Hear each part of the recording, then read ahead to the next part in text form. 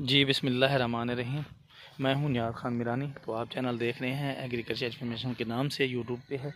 तो आज का हमारा जो मौजू है वीडियो बनाने का, आप देख सकते हैं, यहाँ पे बेड शिपर से हमने बेड निकाले हैं। पहले यहाँ पे हमने डबल गोबल चलाई है। डबल गोबल के बाद फिर इसके ऊपर रूटर वेटर चलाया है।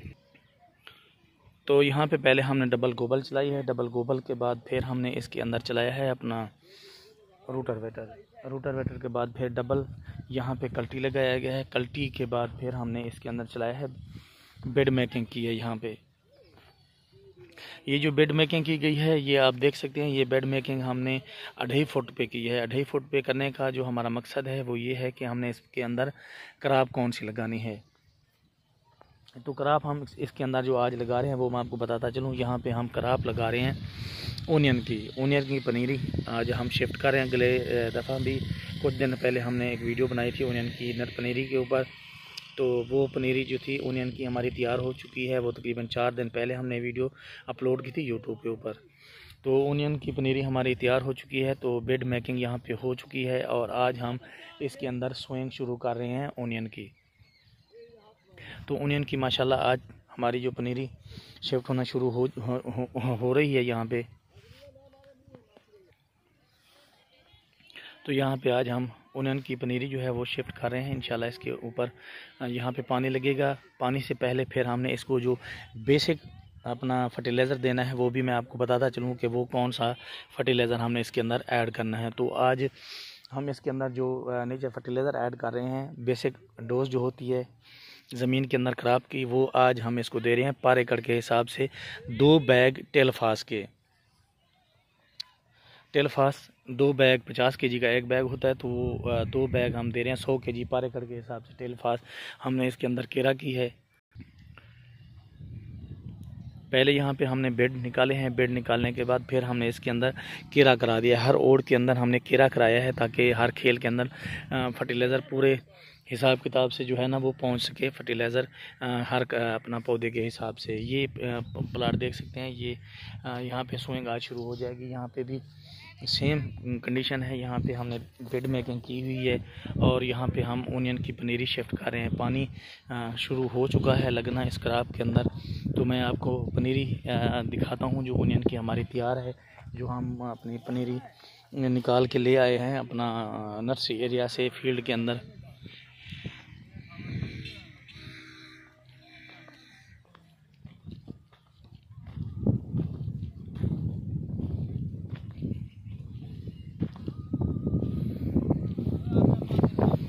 तो ये पनीरी है हमारी।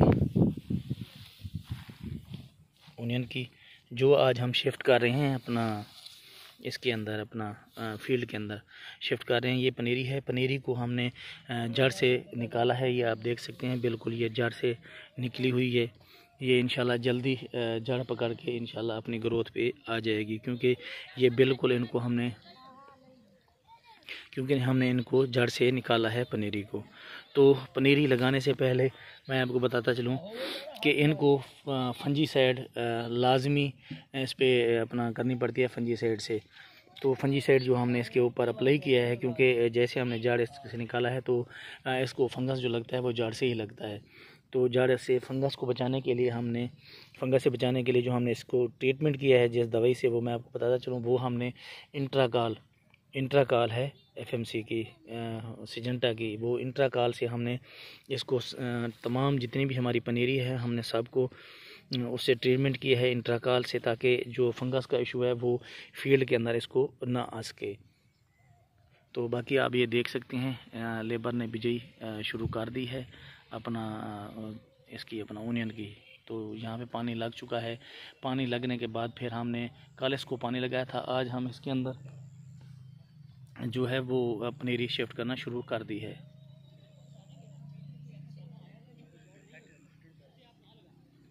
तो जो हम बिजई कर रहे हैं वो कर रहे हैं चार इंच चार इंच का फासला जो होता है चार इंच पे हम इसका आ, सीड लगा रहे हैं ताकि जो है ना अच्छे तरीके से इसमें आ, सारा सिस्टम जो है वो हो सके। तो आपको बताता चलूँ जो हमारी ये पनीरी है जितनी भी पनीरी है दोबारा मैं बता दूँ कि ये जड़ से निकाली गई है उन्हें की पनीरी और इसको फंगस से बचने बचाने के लिए हमने इसके अंदर जो फंजी साइड है इंट्राकाल वो इस्तेमाल किया है इसके अंदर। दम कर रहे अच्छा।